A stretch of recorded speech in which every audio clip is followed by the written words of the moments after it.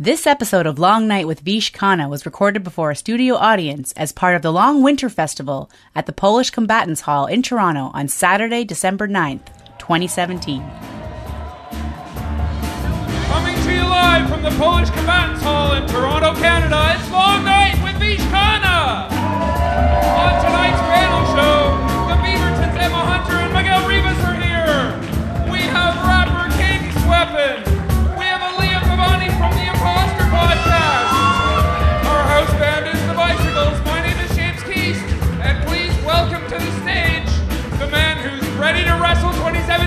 Ground, Vishal Khanna!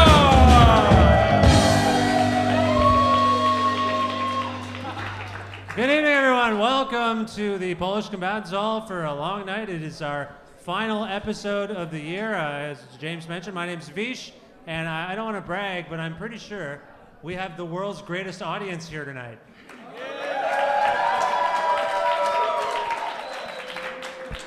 I told you guys the world's greatest audience. It's true. It's our final episode of the year. It's uh, December 2017 as we're speaking to you, and I thought we would spend our time uh, taking a look back at the year that was or the year that has been 2017. And we have an excellent panel that's going to guide us through all of this. And uh, I'm going to introduce you to each of them right now. Cadence Weapon, also known as Rollie Pemberton, is a Polaris Music Prize nominated rapper and producer who served as Poet Laureate of Edmonton. His new self titled album is coming out January 19th. By the way, it's already my album of the year for 2018. It's coming out on E1 Music Canada. Make some noise for Cadence Weapon!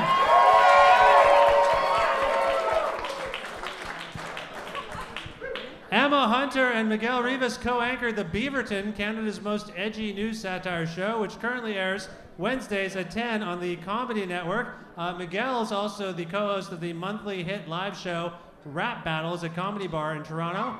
How about a hand for Emma Hunter and Miguel Rivas? Thank you. Hello. Nice Hello. to see you. Hello. Aliya Pabani is the host of Canadaland's arts and culture podcast, The Imposter. Aliya is trying to become a comedian so that she can do a live performance on stage at Second City to close out the season. So far, her epic journey has included crit sessions with pro comedians and an interview with her dad about brownface.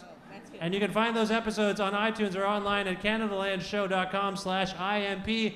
How about a round of applause for Aliya Pabani over here? Yes! Thank you. Welcome. Thank you. And finally, James Keast is my sidekick and announcer on Long Night, and he is uh, also the editor in chief of Exclaim Magazine, which celebrated its, uh, or is continuing to celebrate its 25th anniversary as a print publication in 2017. How about a, a round of applause for James Keast over here? Woo! Nice to see you all here. How's everybody on the panel doing? We are ready to rock. Very well. Wow. Super lit. It's nice to have you all here. Now, oddly enough, we were here last year in the Polish Combatants Hall to wrap up the, the season, uh, the, the wrap up the year, and assess the year 2016. Aliya was here. You were on that panel. I was on that panel. Thank you for inviting me back. Of I guess my takes were really hot last year. You're the only We're one back, to hear. except your brother Miguel, Freddie, was here. Oh my God. Stronger, better brother. We replaced the brother with Yeah. the other brother. I made the the right star. choice. Freddie's Am I going to start a family feud here or something? No, I already won. It's all good. So what we uh, we experienced last year, Aliya and I, was that uh, 2016 seemed to be among the bleakest years on record. We decided we had a fun talk, but it felt like things had really gone sideways last year, and I I'm not sure if much has improved uh, over the course of the last 12 months. I think we'll start with Aliya because we had that experience last year of talking about how terrible 2016 felt. Do you feel like 2017 might have been better than 2016 in any measurable way? well, I think you know the timing of this panel is significant because last year uh, Trump got elected and then everyone just died, um, and so that's kind of what we were talking about mostly. And I feel like although 2017 we're still kind of hurtling towards disaster, um, like till end time, I guess. Um, it's it feels better. Um, I think for me, I guess part of the thing was that um, Trump's election, especially, made a lot of weird liberals uh, realize that institutions could uh, support abusers. Right. And that men in power could do horrible things. And I feel like maybe in some way that paved the way for the series of dethronings that have really characterized 2017. So even though the like on a world scale, um, things are still quite terrible. Uh, personally, I feel more optimistic right now. Okay. That's okay. That's that's good perspective. Now I'm going to open this up to the floor. Sure, you can applaud that. Hurtling through end times with a smile on our face. That's what uh, got out of that. Uh, let's open it up to the floor. How do other people here on the panel? Maybe we'll start with Rollie. You seem like you have something to say. What do you think? Um, yeah, it's it's weird. Like 2016 was uh, really bad, and then yeah, this year seems like it's just continuing on the same downward trajectory. But um, I actually, in a weird way, I have a lot of optimism because I think both years had a lot of um, a lot of difficult questions that people had to had to talk about, and a lot of painful uh, experiences uh, came to light. And I think historically, we have to go through these things to get to a better place. Yeah. So I, I honestly feel really positive about where things are going right now. I, I feel like we just are suffering from like uh, uh, some sort of outrage fatigue, or you know, like dismay fatigue. Where whereas when Trump got elected, we it kind of felt like a, and to some degree, even though it was due in large part to denial, it was like some sort of bubble was burst. And then as things are just kind of bad all the time, you are shocked less and less, and you kind of get used to it. Yeah. So I feel like after we got used to it, we started to hopefully think about how we can make some change and address the situation that sort of crept up all around us while we were partially in denial. Yeah, I think that's true. You mentioned something about bubbles, or you b- both mentioned something about bubbles and how you know we were shocked out of our bubbles. I was thinking like bubbles are, are interesting, aren't they? Like I, I think that some people were surprised by what had happened with the rise of the conservative movement, and and, and like you say, in a weird way, Trump as an evil person was an agent of positive change. It sort of made people realize there's a whole other mindset out there. I mean, it's been hard to process, but it's ultimately going to be healthy, don't you think? Are you looking at me? I, I mean, yeah, in a weird way, if, if things would have gone maybe in the other direction, we might still have the status quo, right? Yeah, yeah. So there's one positive. Frankly, my really looking for silver lining. I know, that's like- just it. feels like it is a rain cloud. But maybe it like- is a rain cloud. But but maybe all the people that have been speaking out feel compelled to do so because of that guy who's in power. Maybe it wasn't just Weinstein or whoever and people speaking out. Maybe they felt like enough is enough. We've got to speak out against all these guys, and maybe it's because of who they had in power down there. Maybe I don't know. I'm just guessing. I, I mean, I think that definitely set things off. I think the fact that somebody can be in power and having done all the things he had done already, that got people really thinking. Like, Yeah. Yeah, I, I'm I am really optimistic, but I still I'm still, as I think we all should be, very cautious about being optimistic, because, uh, you know, even with all the changes we're going through and the dethronings and stuff, I have this weird feeling that elements of it are not going to stick the way we want it to. And I think, unfortunately, like everything else right now, it's personified in Donald Trump that he is. Uh, has been uh, accused of so much abuse and he never pays the price for any of it in any way. So while we're dethroning other people, the most powerful person and the representative of the conservative side is not going to pay any price and is Yeah. going to sort of devalue the sweep that, that society is making about this issue. Yeah, I feel like we're putting a, a, a slight tarnish on the optimism we expressed just moments Sorry. ago. I mean, and it's cautiously optimistic. yeah, You yeah. know, like I, I feel like um, we're still a tweet away from the apocalypse. That's right. That's right. Does anyone here think 2017 was worse, by the way, in any way? Emma? Um, yeah, I mean, there's the, the notion of rock bottom is actually positive when you think about it because That's- if you're yeah. at the lowest moment, the only way to go is up. And so I'm wondering when that really just like just we're just gonna just lean into the fucking rock bottom Yeah, yeah. and start to go up because I don't know. I felt like this year was rough. It was really rough to be a woman this year. Like I'm so tired, man. You know what I'm saying? Yeah. And um and there's like just a bunch of dicks out there, and I'm hoping that maybe as Aliya said, that with 20, like, like sort of cruising into 2018, there can just be like an upward swing on just like just be cool to women. That's it. Yeah. You know what I'm saying? Um, yeah. So Okay. All yeah. right. All right. Well, you know, every year has its heroes and villains, and I wanted to talk about some of the best people uh, of the year and some of the worst people of the year, just to, you know, for fun, just for some more fun.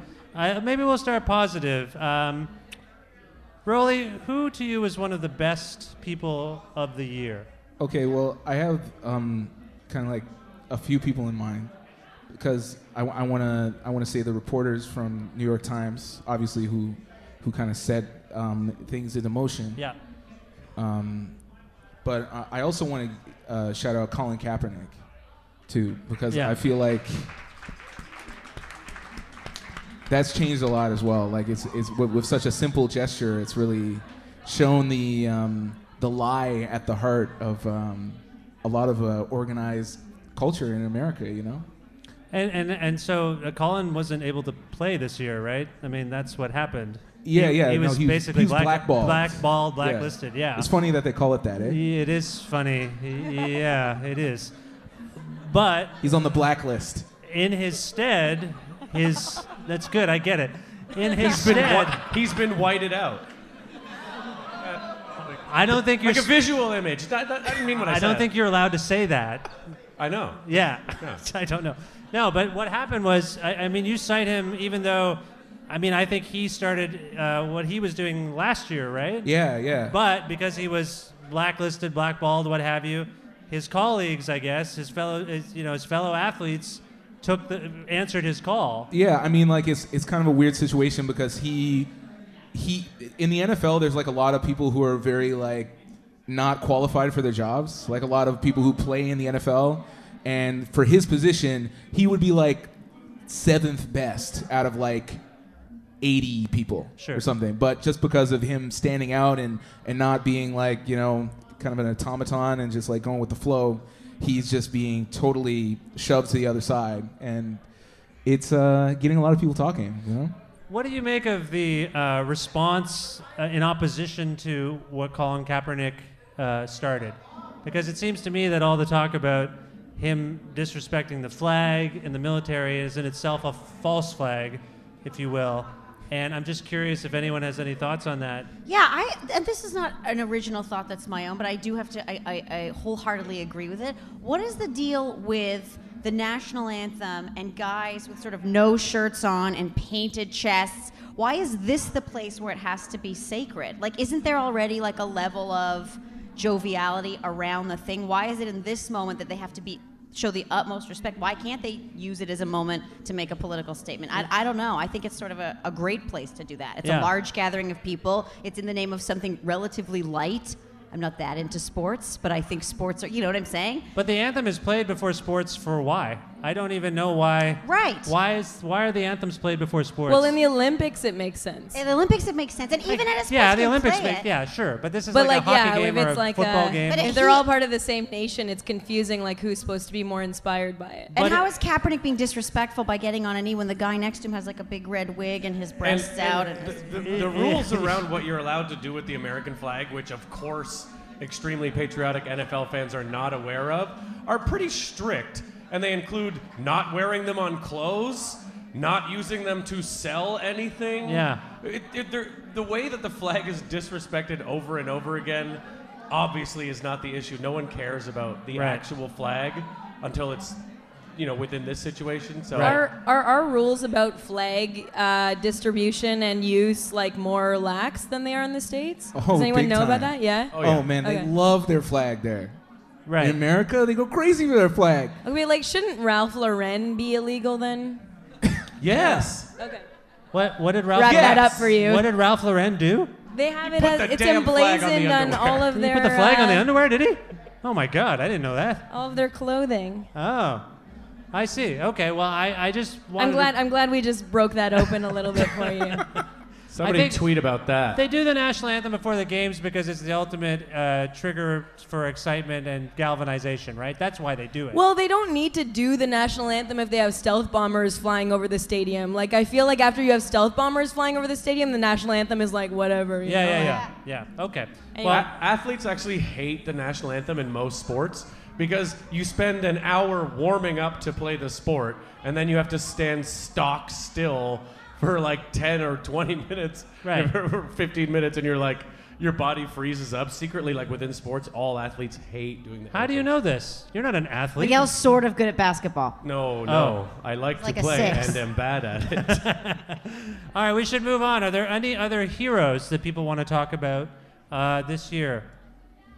Were there any other important? This is not uh, serious. It's a little bit of lightness in the sea of seriousness. But how great is it that there's going to be a black American divorced princess, just like just right beside the Queen of England and Prince Philip, Oh. just sitting there? I'm just like, yeah, stir it up. That's great. Right, that happened. That's a thing. That's great. That's is that heroic? I wouldn't say they're the heroes of the year, but Well, I'm excited about it, Miguel. Right? A little uh, It's good to joy be- in the uh, she's a hero. sea of shit. Why is it significant that the the the future? What is she? The future queen, I think princess? she's a princess. yeah. Duchess, Why, I can't keep track. Duchess. why is it significant that she's black and divorced? I'm just curious why that's a. Because they're completely obsessed with all the wrong shit. Oh, Bloodlines Oh, right. and being British and, you know, things that have nothing to do with character. So she's just going to go in there and switch it all up, and I just think it's. It's Anything just, to break up the incest that we assume Yeah! happens.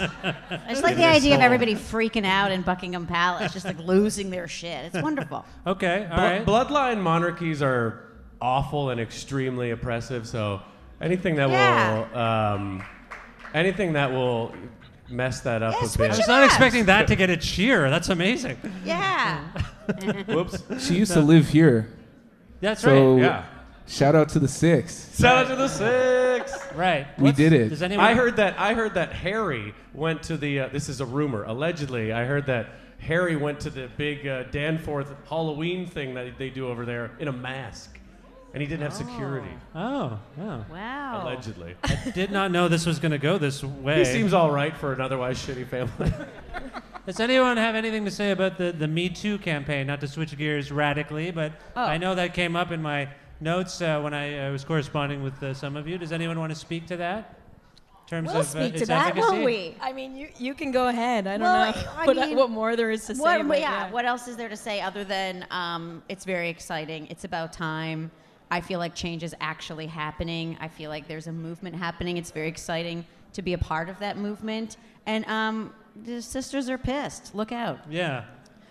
I Yeah. have a thing that might not be like the most gentle take on this, and the. whole- Do it.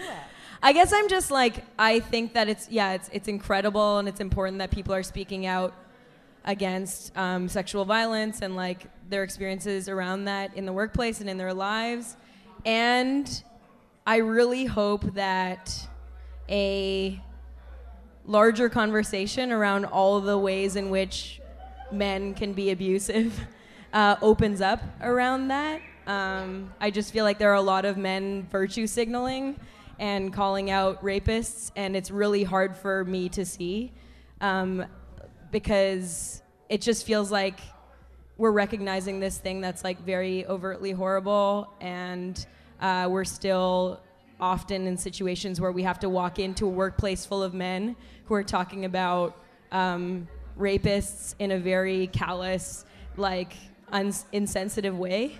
Um, and I think that You mean they're trying to um, interact with the phenomenon and the situation, yeah, but they're not doing it with sensitivity? yeah, like they're not recognizing that there are women in their workplace, which is like par for the course, I guess. Yeah. That um, so yeah, I don't know. I just feel like there are a lot of things about this year that feel really regressive to me around like representation and racism. And you know, a year ago I was trying to have conversations around the subtle, nuanced ways in which racism exists, and now we're back to discussions around Nazi racism. And I feel like as positive as it is that these things are visible, I want us to be able to like get to where I thought we should be. Yeah, yeah. Faster. That's true. Yeah. Uh, I, I, I think that it's like like Rollie said, like uh, Cadence Weapon said earlier, it's like the the white nationalist racism that we're seeing surge across the planet, um, I al- I'm still wondering how much of it is is a, like a real surge, and another part of it is like popping the blister of something that was already there. Like Yeah. we have to just kind of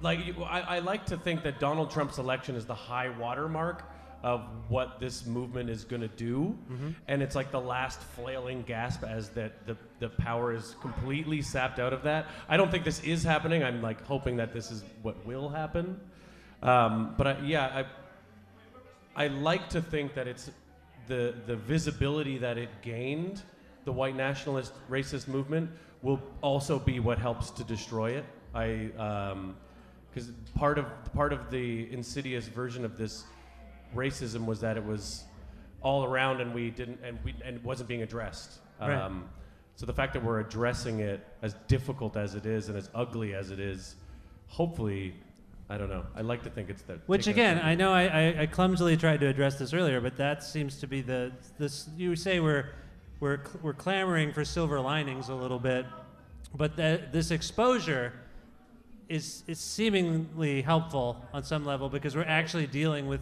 the actual issues. They're not just sitting beneath the surface.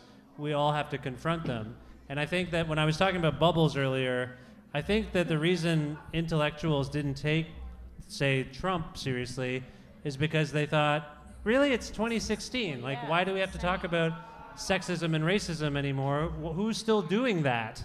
Right? And that's what we've so many. Right, and and that's why it's I in a weird way it's positive that these people have these platforms right now and are getting this exposure because we can readdress these situations that we thought were kind of resolved. Yeah, and it's just an ongoing battle, is what I think. Maybe the like, the the pop culture phenomenon of it is is maybe like glossing over.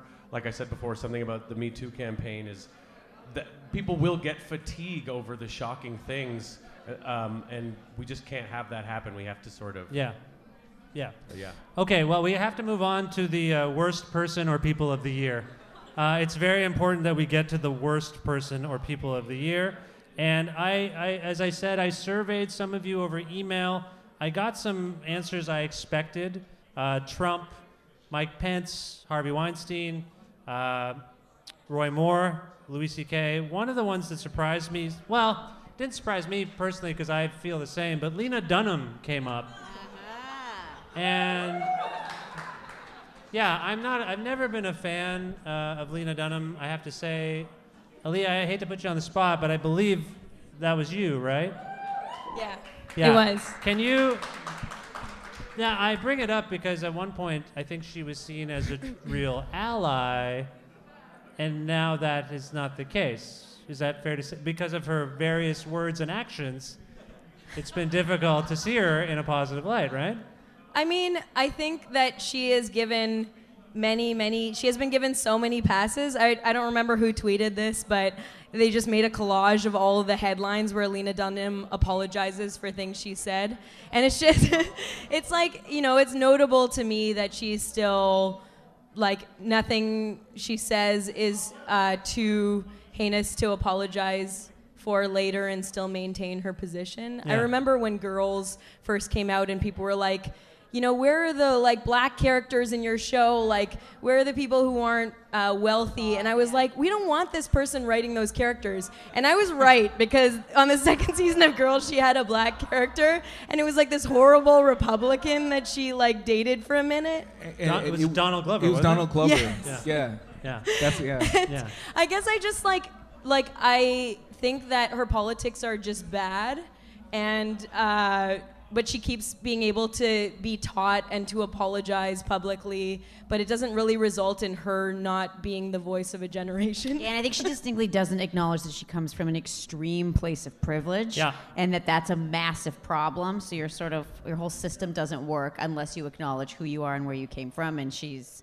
yeah, a little There's like no learning. So yeah, her most recent apology, I guess, was that she uh, basically her writer was accused of sexual assault, and she defended him. She stood by him. Yeah. Yeah.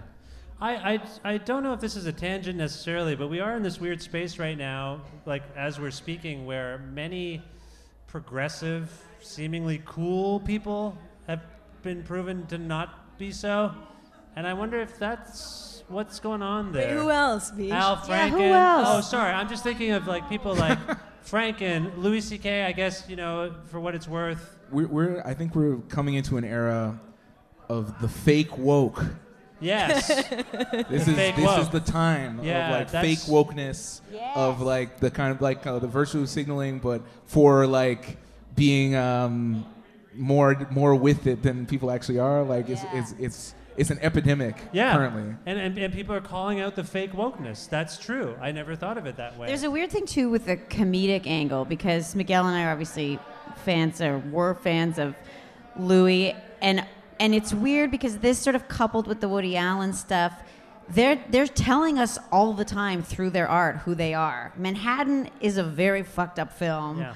Louis stand up watching it now he's telling us every like he tells us this is what i'm doing this is what i'm about and it's horrible and it's not okay and it's not charming and it's not funny um, and i think they gotta go and i don't think the art gets to stay because the amount of people that didn't get a voice because of these guys is it's a problem yeah.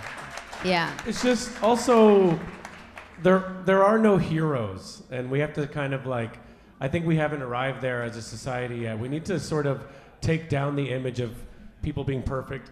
I mean, in politics, that's always been the idea: is that someone who's going to run is going to be this image of a perfect person, and uh, that ultimately leads to us being extremely disappointed when Yeah. everyone is proven not to be. They're just and, it- human and it beings, involves yeah. people getting away with things that they shouldn't. Uh, and yeah, we, we need to let we need to let ourselves understand that nobody is a hero. That's well and then put. we won't have these people to be to destroy at, from such a high level. Yeah, that's it's well put. Uh, we have to take a quick break, uh, but before we do, does anyone else want to chime in about the the worst person or people of the year? Anybody on the panel? I yeah, I mean, I, I just wanted to say, just um, my answer is men. Period. Mm-hmm. You know, like s- we have to start over. Yeah. Not this year. All the years. All of the years. Maybe next year not, but probably again. We have to start So. over. Okay. All right, we're going to take a quick break. Uh, more to come with this amazing panel on Long, Long Night. Please stick around. Don't go anywhere. Thank you.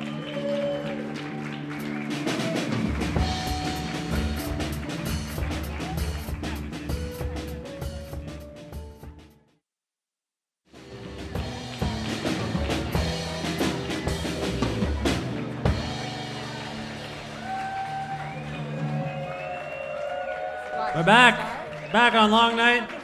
All right, we've had a spirited discussion thus far. I want to move on to something a bit lighter uh, the best pop culture event or figure of the year. oh that was supposed to be Meghan Markle for me shit This this will be okay. I, I, I categorize this as anything in books, films, TV, music, sports, comedy. And uh, last night, because Rollie recommended it, I checked out a film called Get Out. Has anyone anyone seen Get Out in the audience? Yes. Wondering why I only saw it last night? I'm sorry, I'm a parent. I don't have time to go see He, movies. he's got kids. He's got a reason why he I didn't. couldn't. I couldn't. I really wanted to see it, but I couldn't see it. I haven't seen a lot of movies. Uh, Rollie, what is it about Get Out that uh, that uh, changed the year for you? Um, when I first saw Get Out, it felt like finally um, it's the first movie I've seen that I can really think of where there was a black protagonist and he just got to be a person. Honestly, it's like so many movies. I go to the movies and it's just like, you know, like Good Will Hunting or some shit, and it's just like not, it's not for me, right? And just like seeing everything that happened in the movie, it just felt like this was just like all the microaggressions. This is the first time I ever saw this in a in a film where they where they show like all the things that I've always told all my white friends that happened to me. And uh, I was like, "See, this is on the screen. This is real. It's not just me. You know, I'm not. I'm not crazy." Yeah. And it's turned that into a horror movie, and it's and it's, and it's not just a horror movie. It's like, I don't know. It, it's definitely a, a film that resonated with me a lot. Do you think there uh, it, it came out at the right time? Like, is, does it fit sort of like a temporal? Like, is, is it important that it's out right now? Oh yeah, I mean, I guess it, originally it was supposed to come out earlier when you know there was the the epidemic of black men being killed by the police in America Yeah. more more in the news. Um, but then the fact that it came out after that, it gives a lot more context to how it ends and stuff, and what what the audience's expectation for when you know a cop car comes. You know, it's not necessarily always a good thing. Right. You know, I mean, Jordan Peele recently. I I mean, the film has been nominated for uh, a number of awards, I believe, and he tweeted uh, because it was nominated as a film, like a horror film or a dramatic Uh, film. yeah, it was it was in the um, comedy, Comedy. in uh, Golden Globes. it was That's in the right. comedy. Even Wi- worse. wi- I, it's a total technicality. Like it's just like anything that isn't like like a drama drama. Everything else is comedy, but it's it's strange. I but it's weird because for him he he, call, he in, in an interview he says it's a documentary. Yeah, he tweeted that. and I agree. It should be in the documentary category. Yeah. Uh, Leah, you saw Get Out as well, did you not? I did. What did you make of it? Well, I thought like it was just like a redefinition of the genre. Like one of the first things that happened uh, when I when I first saw it, one of the first things I noticed was just there's this thing that happens in movie theaters in India where people just yell at the screen and they really like there's no screen. You're just like hanging out at a party and someone's being chased by someone and you're like fucking run, like you know. And that never really happened in Canada much, and I, it was really something I missed when I moved back from India to here. And Get Out, I went to go see it in a theater in Mississauga, and it was like no white people in the theater, and everyone was just like throwing popcorn and screaming at the at the screen, and I was just like, ah, yes, So it was the experience as Yeah. much as the film itself. yeah, just the experience of watching in theaters, which you missed out on, Vish. Um, I don't know if iTunes um, I bought it off for of iTunes for twenty one ninety nine. I didn't even torrent it or anything. I'm such an idiot, I guess. But I was just like, I don't want to fuss with all that. You should just- watch it with like a holographic POC audience. Honestly. I was so unsettled by it. Like 15 minutes in, I was telling Rollie that I almost turned it off. what? It's what were you? made so well. Like it's Yeah. so visceral as a film. You got scared. I got scared. I Also, by that, my- that first scene, like that first scene, if I Oh didn't pay, I would have needed to pause and like go to the bathroom or yes, something. That it was, yeah. and uh, Jordan Peele, I was just telling Rollie, like I just found out he's like involved in the reboot of the Twilight Zone, which Mm-hmm. if you've seen Get Out, now it made more sense to me now that Yeah. I've seen it. Yeah. Okay. Uh, who else has something to say? Oh. Miguel, you mentioned The Big Sick. A lot of Yes. films came up. The Big Sick. Yeah, pop culture, man. Films, movies, books. Um, No one picked records, I don't think. No one picked one record. yeah, we lost the monoculture. What what is a record? I'm what the fuck are you talking about? I, I buy shit off iTunes and I listen to records. Give me a Granny's break. has record and song, and it's like, what is, Yeah. what is My- going on? No one picked music. I'm just saying. My Everyone computer just plays the songs and I just Yeah. listen to it. I don't know. What is an album even, man? It's a playlist.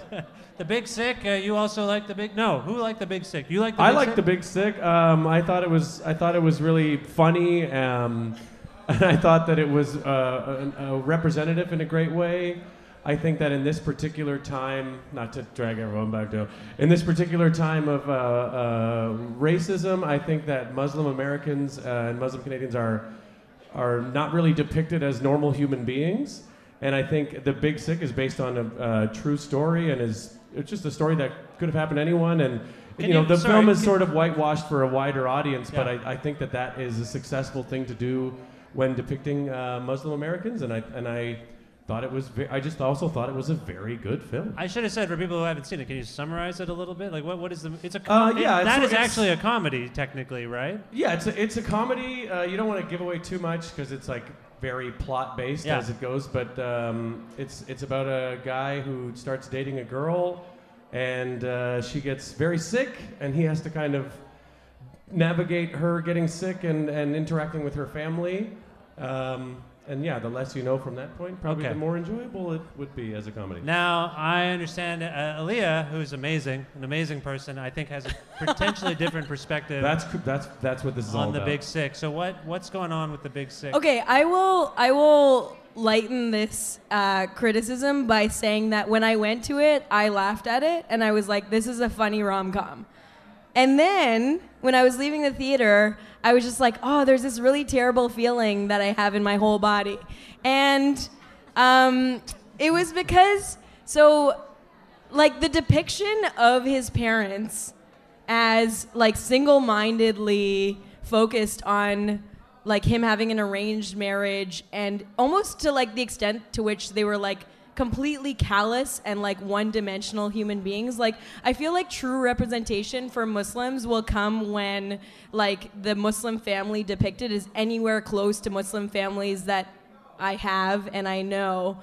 And I think the thing that like I've realized about arranged marriage is like if you're gonna get into some kind of like statistically batshit arrangement, like getting married, then you might as well have everybody chiming in on it because it's so unlikely to be running on love for your whole life that like if they had a way to actually humanize the parents like there are like I uh, so I'm rambling but um my friends uh, one of my friends is like she comes from a long line of like family members who have had arranged marriages and that were successful. And a lot of people who are actually in arranged marriages talk about how like you know uh, when you recognize that marriage is kind of like an institution we say that all the time but we don't understand what it is. It is like like I don't I, I don't I wouldn't get married for any other reason but citizenship but if I was I would want people putting me with someone that has the highest likelihood of um, working with me. And I just felt like that movie was full of things like that that felt really like Judd Apatow interventions. Um, like very typical Muslim family stuff, like the mother trying to disown her son, which would like never happen. Um, like if there's anything that's true about desi moms is that they love their sons. Like even if their son like dragged home like a dead person, they'd be like, you know, you're perfect. So I don't think that's true. that might be an um, overstatement. But also, like, so our Hari Kondabolu just came out with a movie called The Problem with Apu, and I don't know. I is it out? I, Okay, I've seen so- that. I didn't even have to buy that So one. So now, now one. we should all be literate about patanking, which is just like these brown characters being like kind of minstrel characters uh, that have like really thick accents that are not um, regional. They're just like these like caricaturish Apu accents. yeah. And that movie was full of those things. And I just felt like the brown people in that film were so dehumanized. Um, and like the white parents were portrayed, even though they made like 9 11 comments, they were portrayed as so much more human than the brown parents were. And I just felt like that was such a missed opportunity. And I think that like I wish Kumail Nanjiani all the best. But again, like if we're at the point where we're applauding a movie just because it has a brown guy who wasn't born in the U.S. in it, who wrote it, like, is this the 90s? I'm like, You thi- yeah. we need to expect better. Okay. I think too. Can I comment? Yes, I think a lot of the time with sort of what's going on in these movements and sort of issues with racism and misogyny, I think a lot of the time the wrong people have the microphone. Like I don't think Judd Apatow is the guy to make the film to start to piece it back together. I just don't. He's just a white guy that grew up in California. But it is Kumail's idea, right? Like Kumail. Yeah. I mean, I know what we all probably know what it's like to work with uh, overlords who have the money. You know, they ultimately have the final say. Apatow would be one of these overlords, but I kind of. And by the way, I haven't, I've yet to see the big. Curious choice thing. of word there. Yes. Vish. Which which one? Overlord? Yeah, I don't know why I went with that one. I'll edit it out later. Um, no, I was going to say that uh, I believe that he drew most of these things sort of from his experience. And like, do you have any experience with arranged marriage talk from your family? Because I, I once went Do down you? to the basement and uh, I found some like Indian trade newspapers, and under some of the arranged marriage stuff, things were highlighted. Anything I was good? very scared to go down to the basement after that. What are they plotting up there? What am I doing? So I just know that that is, it was like a threat almost. Right. Your, hey, your grandparents are on the phone. They found someone for you to marry. Like Yeah. that's something I would get. Right. So I kind of can relate to that. And maybe, uh, has anyone here been in an arranged marriage? That's what I thought. And Wants to have you? jump up I and have talk. not, but okay, so I like I can't even I can't even list a source for this because I can't remember where I read it. But I but I read somewhere and you should edit this out because it can't be fact checked. But that Oh, it's staying in. No, that I'm just kidding. there was less tension between Kumail and his parents Yeah. in real life than there was in the film. Yes. And like, why build that in, Judd Apatow? Like, why try to create? You know how to make a successful film, but like on the backs of what? Like, do we? You know, is is there more tension because the audience just expects these kinds of characters and they want to be made to feel superior because Yeah. love marriage is their thing? Right. Uh, Miguel, I hate to put you on the spot, but, you know, Aliya Do you love your to- wife, Miguel? I love my wife. She's not sick. She's fine. Does that change the impression, your impression of the movie, just hearing what Aliya had to I say? mean, yeah. I, I absolutely. I, I, I don't even feel like it's my like I don't have a response necessarily because I agree with Sure. everything that's being said. My, my only thing would be to say that the rom com machine is like a disaster, anyways, and to see it penetrated in any way, it, I think is I think is is Penetrated. Sort of, no, what, wait, yeah, sure, sure, I'll stick with that. Um, I think it's I think it's admirable. Who are you, and- Judd Apatow? Nice. Oh, it penetrated! Oh no! Um, I think it's admirable in some way, even if it, it missed the mark in several ways. And if it really missed the mark, then I I I need to check how I viewed this the thing as well. But uh, yeah, I did come away with a sense of, of moderate positivity. Also, it's like 40 minutes too long. Right. There's that. It's a classic Apatow move. What would you cut out of it? Um, probably like a lot of the uh, stuff with Ray Romano in general. Um, I don't know what it is there for. Yo, yo Ray Romano is in this movie. He's, Yeah, man. he's the dad. He's Ray Romano. he's Emily's dad, or the Enough whatever. of Ray Romano. Yeah. and as a non-fan of Ray Romano, I'll say that he does o- he does okay. Does everyone love him in the movie? Ah, Um, no, Very thank good. God. It's Nice. more. Uh, that's a more accurate depiction of real life. Not everybody loves him. okay. We should move on. Does anyone else want to talk about anything they loved, uh, pop culturally? Well, yeah, I, I that kind of reminded me of something. The fact that this movie was from Judd Apatow, like in the back, and I think some of the most successful movies this year are uh, coming from new perspectives.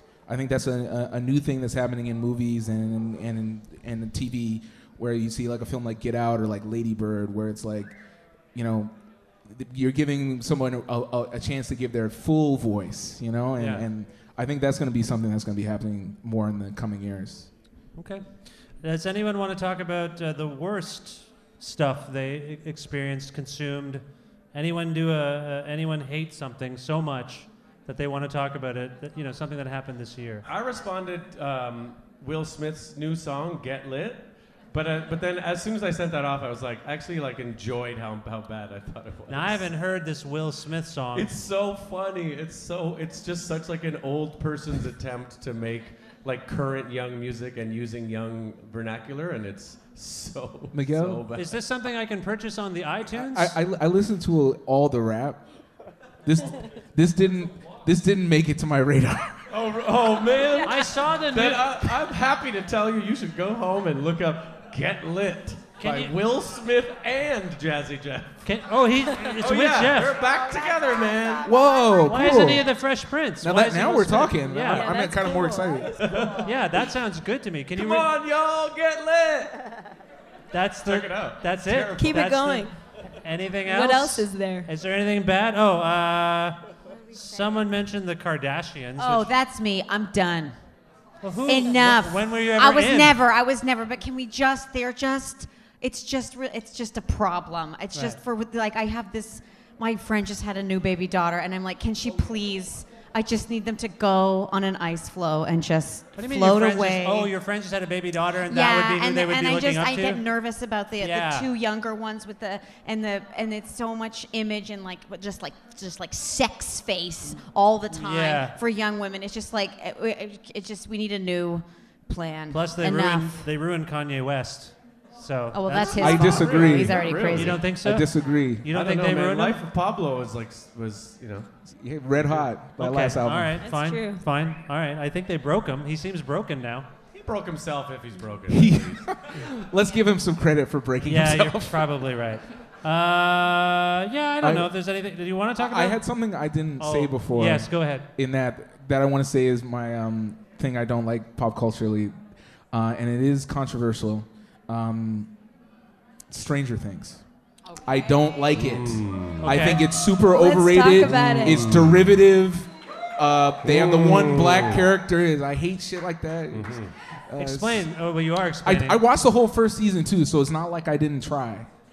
But I don't know. I just found it like, listen, like I grew up in the 80s. You know, Yeah. like I, I, I saw all those movies already. Like I, I don't know. I don't like when people try to like prey on my childhood interests and shit like that. Do you that. have a sense of why that's taken off then? Because I've mostly heard this response, like derivative. It's not doing anything. I don't know if it's. I, maybe it's not for me or something. I I think it's trying. I think you're right. I think it's trying to capitalize on nostalgia, and that it's too easy of a trope, and that and that you probably sit there going like, "No, I see through this shit. I, you're not getting me." It's like Disney. It's like I see you, Disney. I see you playing those songs, reminding me of my childhood. It's not that good. Yeah. Um, so I think it's probably something like that. Also, Winona Ryder is terrible. Is she bad? Whoa, something's. Yeah, I was like, I was sitting with my husband. I was like, turns out she's uh, terrible. Yeah. I, I feel that good. um, as like culture has lost a lot of touchstones and sort of um, you know commonality like everyone doesn't like the same song or even know the same song anymore um, as it's sort of Get lit. We got it. get lit everyone I mean besides No one Yeah, knows get it. lit. Yeah, besides I, I get think lit, that yeah. as we've sort of lost the, the monoculture um, Yeah. rapidly in the age of the internet and, and technology kind of spreading out, I think that culturally we've gone to this thing where we're just like gouging our own nostalgia. Mm-hmm. And it's like a pretty specific timeline that we're gouging. And there's only so much we can get out of it. Um, and I think that Stranger Things is like one of those examples of something that is just a list show. Yeah. Uh, like specifically superhero movies, I always called like list movies because people show up being like, "Does he have the suit? Okay. is he is he angsty? Okay. Did Yeah. his parents get killed? You know, it's just like no one's going there to be like, "Take me somewhere, show me something, teach me anything." It's like you're going there with these set expectations, and I think that's a result of our like awful nostalgia culture. And I'm uh, I would like to take it down in any way I can. right. We have to take another quick break. We're running out of time, and I want to get to some more stuff, but we'll take a very quick break. Back with more on Long Night. Please stay where you are. Thanks for being here.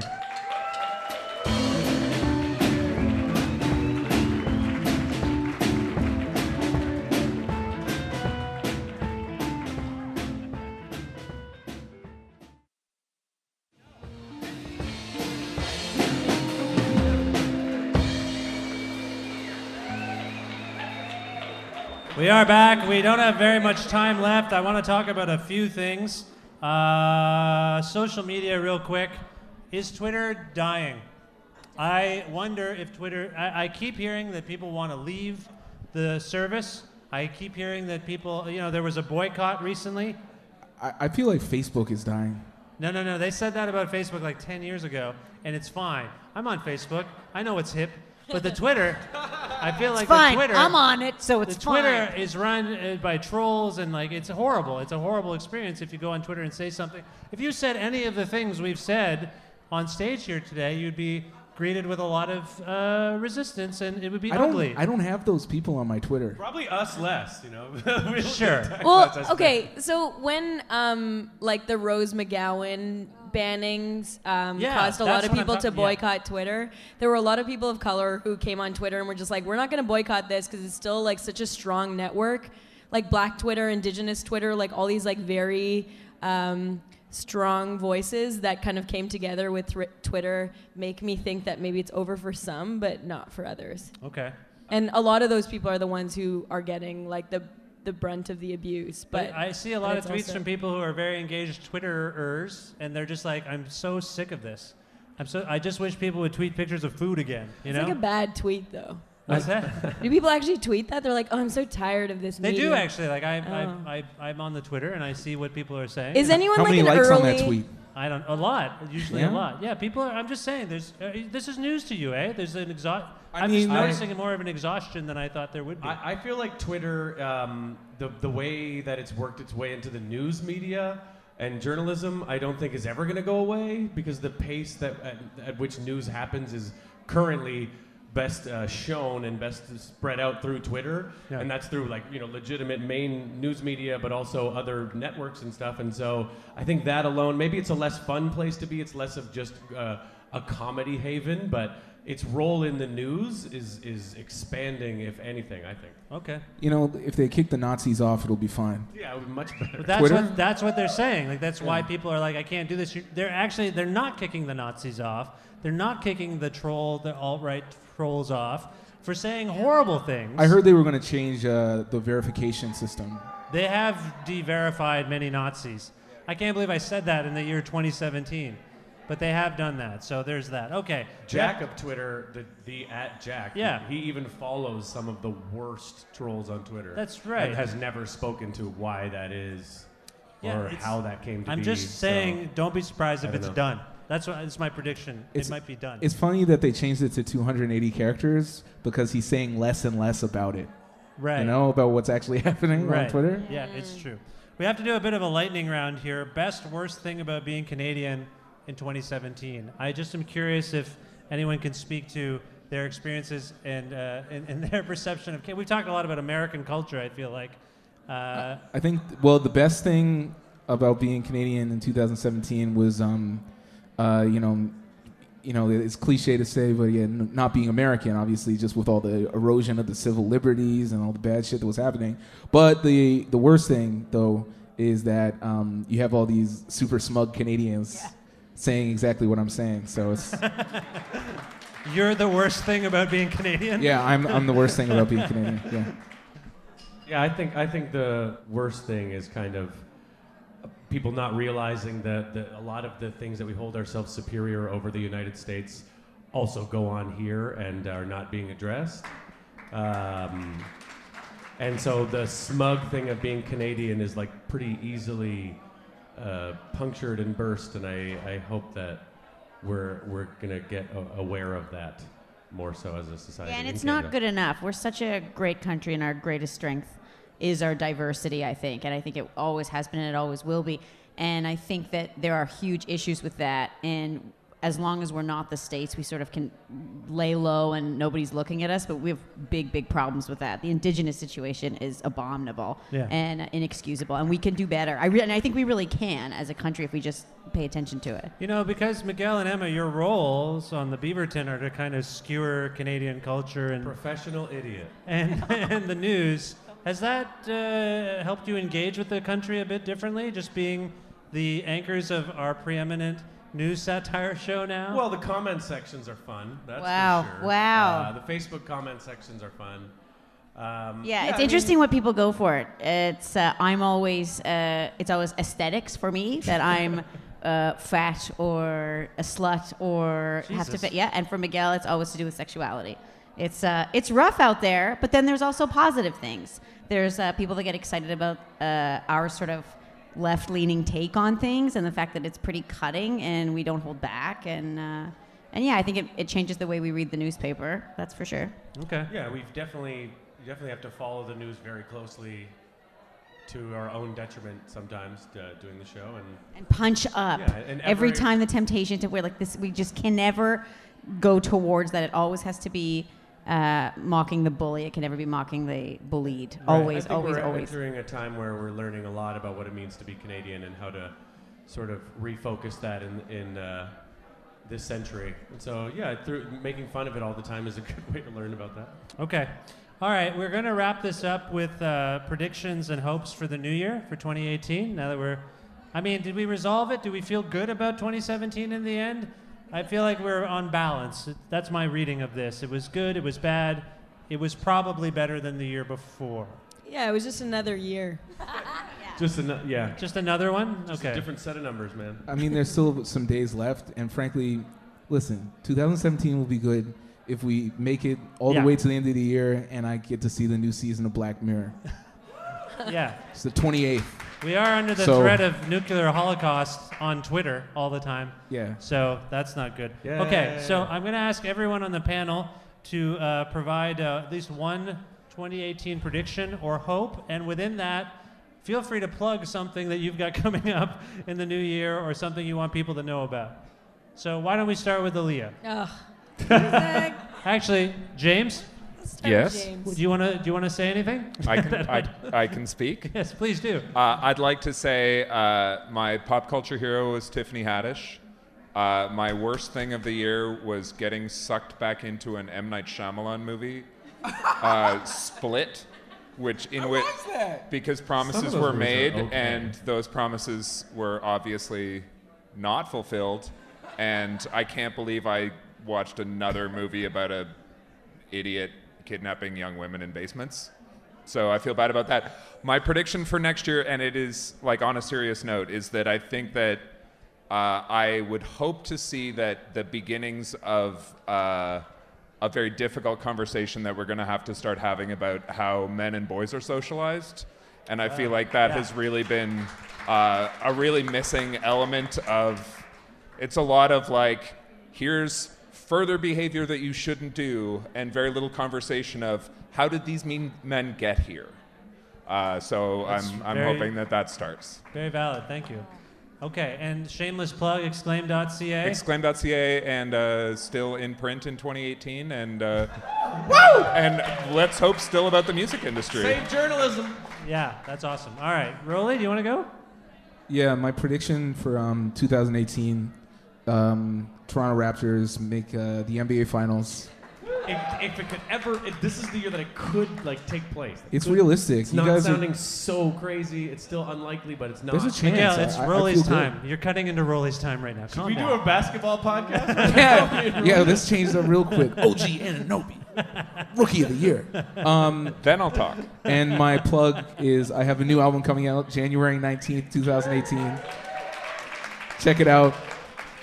I'm very excited uh, for people to hear the record. I've been lucky to hear it, and Rollie and I had a good chat uh, a week or two ago, and it's going to be on the podcast. We went through the whole record. Yeah, it's gonna hit the net soon. Yeah, it's going to hit the net on iTunes, which I like to plug for some reason all the time. Miguel, Um, I think uh, that unfortunately Donald Trump is a defining element of our all of our lives, and there's a lot of like bizarre liberal hope for this impeachment that is never going to happen. So I think that my hope for 2018 is a Democratic flip of Congress, which is um, unfortunately also like a, still an uphill climb, but I think it's it's it's you know there's a good chance, and I think that Congress is extremely powerful in the United States and can help counter a lot of the negativity coming from Donald Trump and the administration. I am a comedian. Sorry about that. I don't know why this keeps happening. It's probably my fault, but every fun talk I want to have ends up being very dark and heavy. I guess that's just me. Is it Oh, my fault? My, shameless plug is. Um, You're just going to ignore the yeah, I am. I, heart pouring I just did? I just remembered my plug. okay, fine. Go my, ahead. My plug is uh, the show I've been doing in Toronto Rap Battlez. We've been doing for eight years, and we have our 100th show coming up Wow. in April. And it's going to be a big deal. It's going to be fun, and everyone should come check it out. Okay, where's that? A Comedy Bar in Toronto. Comedy Bar. Okay, thank you.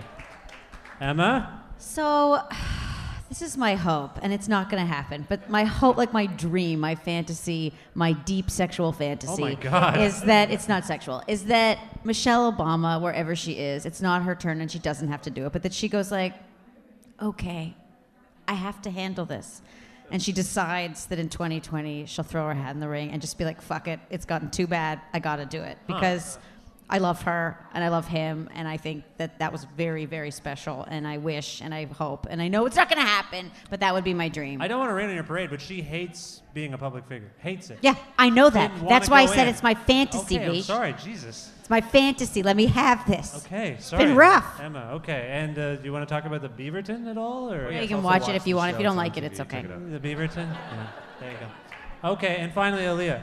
Um, my hope is that Meghan Markle breaks the royal family, and and also uh, that more seriously that um, the fact that all these disclosures are happening results in more structural supports for resolving this important societal problem that aren't the courts and the criminal justice system, which have failed in many ways. So I hope that we look towards like restorative practices or that there are more supports for people who are interested in doing that to resolve this very pervasive issue.